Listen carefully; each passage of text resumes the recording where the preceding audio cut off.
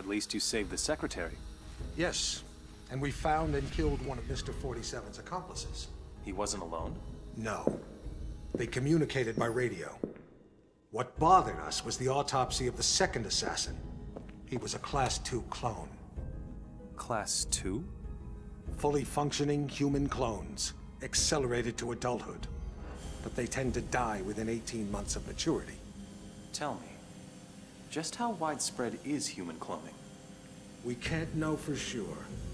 But I'm sure we'll see thousands within a few years. Why? Because of your jackalope president! He wants it legalized! Imagine that. The most insidious weapon the world has ever seen. And he wants to legalize it. But the public... The public is an ass. Cloning is the ultimate weapon of mass destruction. It's a terrorist wet dream. But most Americans still support cloning, and... Hopefully, this interview will change a few minds. Maybe it'd help if they knew it was 47 that killed Chad Bingham's son. What? We even had our best agent on the spot. We were ready. Good to hear your voice again, 47. We got worried when you didn't get back to us. It was just a little thing requiring my attention. We've got an extremely delicate mission for you, if you're interested. Mm-hmm. Always interested. Just send me the briefing. Hello, 47. Your next assignment's in the Rocky Mountains. Senator Bingham is being blackmailed by pornography tycoon Lorne de Havilland, who has a compromised